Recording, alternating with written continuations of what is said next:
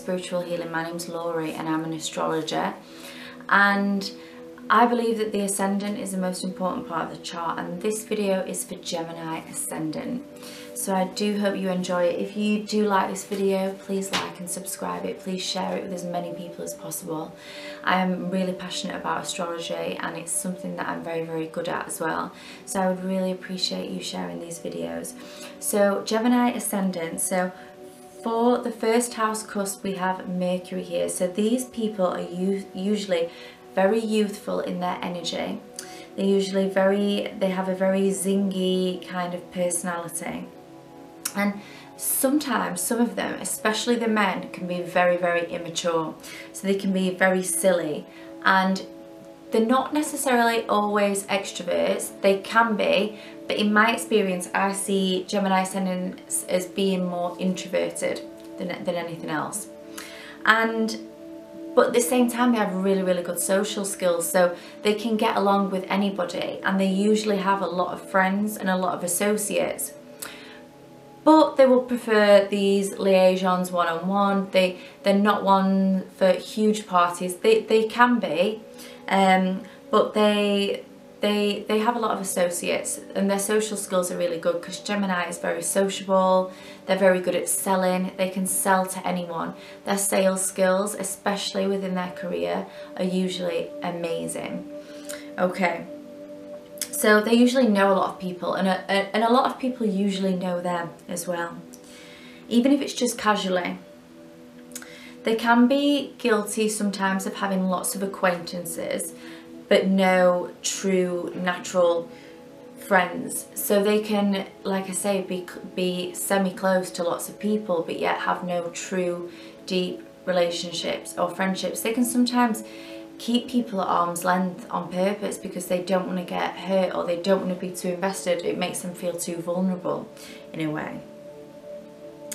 So yeah, they're very funny. They can be very, very witty and very silly. Gemini has an amazing sense of humour and these people are usually very, they, they can be very ADHD with their sense of humour, if you like. They can be prone to gossip sometimes and they can be a little bitchier than, than other ascendant signs. They can get caught up in the gossip because, because Gemini loves gossip and they, they can get caught up in these things. So because they have lots of acquaintances and associates, so a lot of people know them and they know a lot of people. At the same time, they can they can be loners.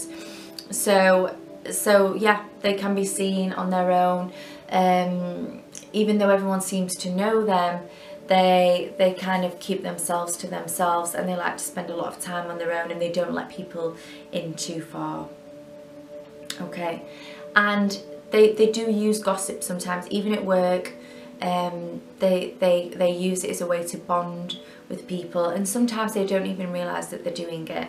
They're not malicious at all, they're such lovely people and they don't mean any malice in it. It's usually um, hinted with a tinge of, of kind of humour and stuff like that. So they're definitely not nasty with it, but they can get dragged into the, that kind of gossip and stuff like that. So the second house uh, ruler we have Cancer here, so we have the moon. So these people can sometimes have self-esteem that does go a little bit up and down and it depends what's going on in their life. So one minute they can be super confident, you know, they, they can be the life and soul at times and stuff like that, but they do have a few downs as well in life. And it, the second house rules are, you know, finances. So they do have more financial ups and downs as well than, than some um, ascendant signs. And they can make uh, large amounts of money really, really quickly as well at certain times. And then other times it's a little bit different. They're not as consistent as, as a lot of ascendant signs. They're not super consistent in, in general. They can be a little bit inconsistent. Um, so Cancer rules the home and the second house rules our daily income. So these people, they can have a lot of professions related to the home. So builders, roofers, property investors, property developers, um, you know, interior designers, um, even people who, who you know, um, estate agents and people like this. Um, and they can also sometimes have careers that, that are linked to the moon in some way. So they can um, use the moon um, in, in a spiritual way in, in their careers. Um, so, so that is something that, that they do as well. And their self-esteem can be linked to the moon cycles as well. So this ascendant sign would do well if you if they would look at the moon cycles and see how those moon cycles affect them as a person. Okay. So the third house, we have Leo here. So this can sometimes mean that these people are very theatrical in the way they express themselves. They can have very big, um, you know, gestures and body language. They can be really over the top and really theatrical with the way they express themselves. And these ascendant signs a lot of the time can have a Leo sibling as well. So they can usually have a Leo sister. Uh, I'm just going to take my coat off because it's a bit hot. Um, they can have a Leo sibling, a Leo sister, um, or another Leo sibling, or, or definitely a fire sign sibling. We see this is more common uh, with this ascendant sign as well.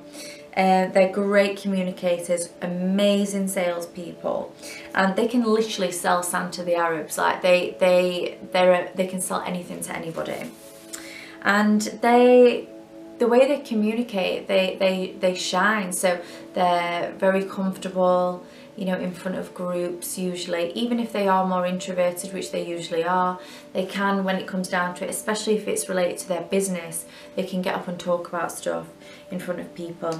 They're very quick and fast learners as well. And they usually shine when they talk, especially at parties, you know, they can really, really come alive, especially if they've had a drink and stuff like that. And they're amazing learners, so these people should carry on learning you know, lots of different things for as long as they can because they're very good at that. Okay. The fourth house we have Virgo here. So the fourth house rules our house and home and they can sometimes have a parent who is an earth sign or they may have been a Libra or something like that. Somewhere around that cusp. So it could be, they could be a Leo or a Libra or a Virgo, but usually the mother is very, very critical of, of the, the Gemini ascendant. Their mother is usually very critical, a bit mean, um, the, you know, the, the sibling, their, their sibling is usually golden child, so the sibling, the, the Leo sibling or the, the one who has Leo and the, the sibling who's very they're usually the one who gets all the glory while the Gemini ascendant is, is the one who seems to get criticised and dragged down by their parents. This is very common in this ascendant sign. And yeah, so th their mom is usually like this. Um, she's usually more interested in in either you know work or or or the home. She's usually not. Um, she's there for them, and and if anything, she does too much too much for them growing up. But at the same time she can be very critical very um, cold and, and drag them down. And this can even happen as, as they get older as well. So these these parents can even if their, their child has done something amazing they, their parent will find it really hard to to uh, give them some praise if, if that makes sense so as well as this, we, we usually see that the this ascendant sign has a parent who is an addict in some way. Um, if they're not a critical, cold, detached type of mother, we usually see that they may have been an addict or something like that as well. And this person usually feel or has always felt criticised by their parents. They always feel like the sibling got more praise and attention and stuff like that. Um, so that's quite common. The fifth house we have Libra here, so we have Venus. So these people love to party. They usually have a lot of short romantic flings early on in their life and a lot more shorter relationships as well. They can get involved in drugs and you know they generally love risk taking and they like to party a lot more. They can be seen on, on the scene, you know, we can even see drug dealers here, we can see people who love to gamble, people who love to, to be part of the partying scene, going out, clubbing, all these kind of things. So that's that's quite normal for this ascendant sign as well. And we usually see these people as being quite artistic and quite creative as well. Okay. and they love to have fun they can be really really silly and they just love to have a good time this is what uh, Gemini ascendants are, are like the sixth house we have Scorpio here so we have Mars. So these people usually pick a goal in their career and they're very very determined until they get it. And they usually do. So they're usually very successful in their careers. They usually get what they want. They can be workaholics actually, especially at certain times in their life they can be very obsessive over work, especially what a Scorpio's like. And they will generally stay in careers for a longer period of time because Scorpio is a fixed sign. They they may change careers as well, for, but they may stay in each career, different career for a good chunk of time and then before they move on to the next one. So uh, they, they, they generally do really well because Mars is the warrior. They will you know fight their competitors they will make sure that they win at work and they usually do. And they're very very good as well with like at fighting any kind of problem with the health. They will usually you know destroy whatever that is just with their will alone. These people have a lot of willpower but they you know at different times in their life they can let addictions get get the better of them but they do get over them. So if you are suffering in this way just know that you will get over it. You have to use the power of this house to, to, to overcome that and you will. So just remember that you you are the warrior. Just put your efforts into work and manifesting and that will help those addictions and things like that as well. Okay the seventh house we have Sagittarius here so we have Jupiter. So these people usually attract a lot of Pisces and a lot of Sagittarius friends and they usually have karma with these people. And they can attract more Sagittarius and Pisces business partners, friends, you know, lovers, all those kind of things. And they, they can often attract people who, who have commitment issues. They can often attract um, relationships, um, you know, where, where the, the partner wants a lot of freedom and these people are usually very very well known almost famous in their hometowns. So everyone usually knows these people. Like oh do you know so and so yeah yeah yeah I know him. It's that kind of thing. Like everyone knows these people. They are well known they are famous in their hometown. They're usually famous in in, in the surroundings. These people usually have um, a lot more periods of celibacy than than other signs. So usually they'll get into relationships and then that, that for some reason the sex doesn't continue or it stops. And this is because Saturn's a really cold planet and it restricts whatever house it's in. And the eighth house is the house of sex. This is really frustrating and I think this is the worst part of this ascendant sign because these guys are generally more sexual than not um, but they do end up having large long amounts of, of and periods of celibacy in their lives periods of sexual restriction and sexlessness even in committed relationships. And this can be really upsetting for either themselves or their partner depending on who's the more sexual one.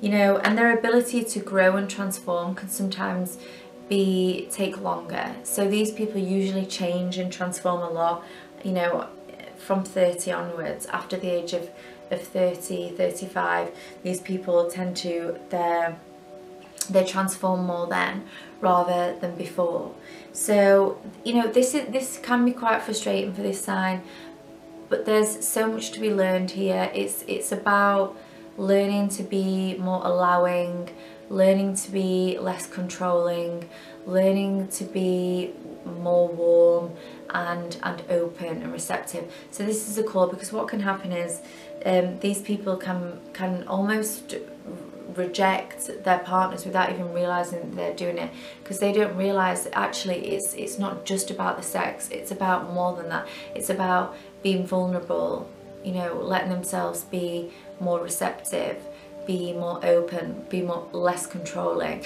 And when they are these things, they would uh, attract more sex to them. But because they become quite controlling and and very masculine, it's especially this ascendant sign can be a problem for some women because you know they, they try and take a more masculine role rather than being more feminine and if they did take the more feminine role they, these people would have a lot more success in relationships and stuff like that um, so what I would say is use these periods of, of celibacy as, as you know, introspection and, and use these periods to analyze what you may be doing in your relationship that may be stopping you from having the kind of relationship that you want. Okay, so the ninth house we have Aquarius and Saturn here. So these people are usually quite fixed with, with what they believe and it's quite hard to change their mind and they can be quite set on when, when they believe something. And these people can often go back to education later on in their lives. So they can go back and learn something, you know, in their 30s, in their 40s, in their 50s. Um, and, and that's great. You know, they're, they're lifelong students and they never stop learning. And they usually do go back and re-educate themselves, which I think is amazing.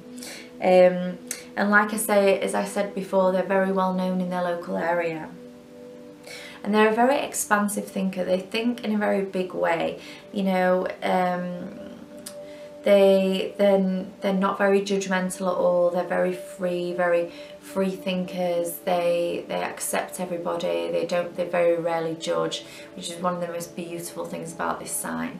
Um, the 10th house we have Pisces here, so Jupiter, this is a great position for, for career. These people usually have huge careers, huge success in their careers. They can attract fame very, very easily because Jupiter is a benefic and we have it in the house of fame and reputation. So they are seen as others. So other people see them as, as being very artistic, very lucky, very, you know, um, charismatic, very creative and they usually have huge success in their careers. The shadow side of, of Pisces being here is people can see them as being addicts, which, which they often are. Even if it's just at a certain period of their life and they get over it, these people are usually addicts at some time in their life and it's usually alcohol or drugs or something like that. Because Pisces rules both of these areas. But they are very lucky and they are very blessed in career matters. Okay so it's up to you, you know, which, which one of these do you want to be? Do you want to be the addict? Do you want to be known for that? Or do you want to be known as this lucky, amazing, creative, artistic, person and Pisces rules the film industry the music industry so these are all natural talents that you should explore and you should explore them because Gemini is curious and you should explore these even later on in life you don't have to be the best in the world at something just to get good at it you know just do it anyway do it to learn it do it to enjoy it. Okay so the 11th house we have Mars here. So these people usually especially the women they usually have more male friends than than female friends. They are usually quite masculine and laddie in in the way that they are friends with others. So they have more male friends they prefer hanging out with men, especially the women, and and the men are yeah, you know, um, that that they obviously they're men anyway, so that that's a bit different. But um, they they these people do attract more friends into their lives. Uh, who are more ruled by Mars, so they may attract other Scorpios. Um, you know, they may attract Aries, Scorpio, you know, those kind of, uh, of people. Okay, and the 12th house, last but not least, these people have Taurus here. So we have Venus. So these people love spirituality. They love to, to learn about these things. And they usually have a very earthy uh, way of being spiritual. Like for them, spirituality will be like going for a walk and rubbing their hands in some soil or touching a tree and really feeling the energy in that tree or something like that. You know, they, they bring the earth element into their spirituality. They're, they're likely to go, go outside into the countryside and do a full moon ritual and roll around in the mud or you know those kind of things. But these people find spirituality in nature through being outside. They they they may go for a long walk to relax and things like that. Um, but this also can can mean especially for, for the men this is more in more in the male not necessarily the women. Because the 12th house is is the house of losses these men can sometimes for some reason lose the love of their life in some way. And this is usually through addiction. Um, so it's not that they end up alone or anything like that. They will end up in happy relationships and some of them will end up with the love of their life. But a lot of these men do end up losing the one who should have been their wife, who, who they should have been with. so this is because uh, we have Venus here in the 12th house so they they and, and this can really tear them apart and some of them don't get over it. But you know you must get over it. You know sometimes there's just a lesson in there to help you heal from your addiction to so that you you know you can learn from what you lost there um, and and heal. So I hope that makes sense uh, this is an amazing ascendant sign, so much potential for amazing success in your career. Um, you know, these people do, do, you know, thrive career-wise. They do have a little, a few more problems relationship-wise and sex-wise and things like that. But, you know, ama amazing, you know, um, ability to transform. They can have huge success in life and so much charisma, very popular people. And, you know, if you would like to, this is just kind of um, a general rundown. A full birth chart will give you so much more information um, into this personality and I really hope you enjoyed um, this video. Um, please share it, please like, please subscribe, please look at the other selection of videos that, that I have available for you to watch and if you'd love a birth chart I'll put my website down below. Please get in touch. I do private readings psychic readings. I do astrological birth chart readings. I also do psychotherapy as well. And um, I also have these necklaces to sell um, which you can see here. Um, I do I am selling these as well. So you can buy one of these. So I'll put all the links down below. And I really hope you enjoyed uh, this video. I enjoyed making it. Thank you so much and I'll speak to you soon.